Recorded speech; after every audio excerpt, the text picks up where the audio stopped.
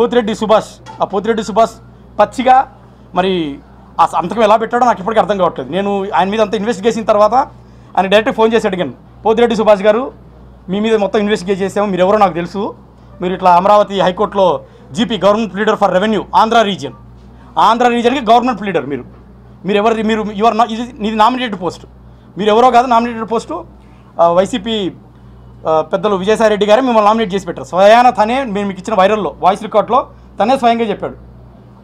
వైజాగ్లో గీతం university land కొట్టించడంలో Vijayasai Reddy గారు నేను పదకొండు నెలలు కలిసి అందిత కలిసి చేశామనేది తనే చెప్పాడు. సో ఇది. సో ఇటువంటి పరిస్థితుల్లో నేను ఆయన అడిగితేనేమో ఆ- ఆ బిడ్డకు నాకు ఎటువంటి సంబంధం లేదు.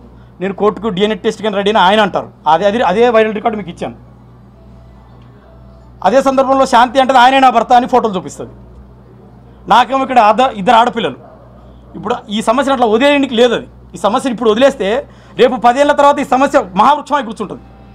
ఆ వృక్షానికి ఆ మహావృక్షం కాకుండా ఇది మొక్క విషయం మొక్కగా ఉన్న ఈ సమయంలోనే మీడియా ద్వారా కోర్టుని గవర్నమెంట్ని నేను రిక్వెస్ట్ చేసేది ఏంటంటే పక్కగా ఎవరెవరైతే పేర్లు శాంతి చెప్పిందో అదే పేర్లు నేను గవర్నమెంట్ ముందర పెట్టాను.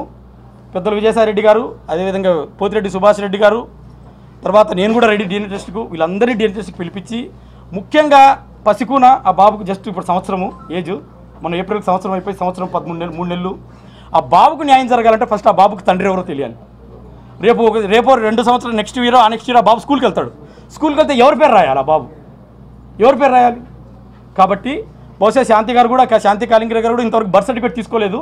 అపోలో హాస్పిటల్ వైజాగ్ అరిలోవా అరిలోవా ఏరియాలో ఉన్న అపోలో హాస్పిటల్ ఇంతవరకు బర్త్ సర్టిఫికేట్ తీసుకోలేదు. మీరు కావాలంటే క్రాస్ వెరిఫై చేసుకోండి. డైరెక్ట్గా శాంతి కాలింగిరి గారిని అడగండి.